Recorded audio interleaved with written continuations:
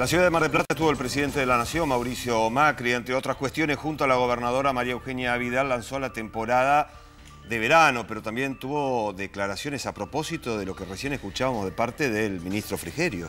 Claro que sí, dijo que habrá una batalla sin cuartel hacia el narcotráfico. Este es el informe de nuestros enviados especiales a la ciudad de Mar del Plata. La bellísima ciudad de Mar del Plata fue el lugar elegido por el presidente de la Nación, Mauricio Macri, para dar comienzo a su actividad oficial 2016, dejando inaugurada una nueva temporada de verano.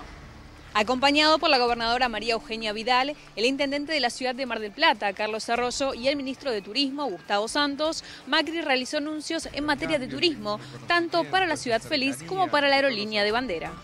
Hoy también estamos anunciando que Aerolíneas Argentinas incorpora un vuelo entre el centro del país y Mar del Plata, que es Córdoba y Mar del Plata, y Tucumán, el norte argentino y Mar del Plata.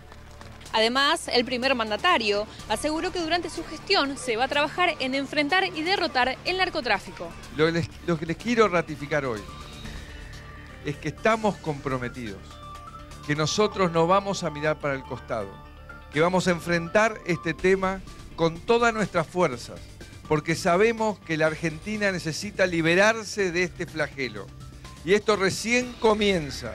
Y le vamos a dar batalla sin cuartel en cada rincón donde se encuentren.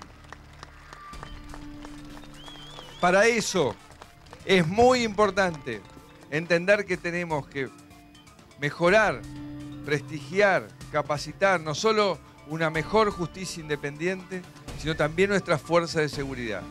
Y son dos tareas en las cuales estamos realmente comprometidos.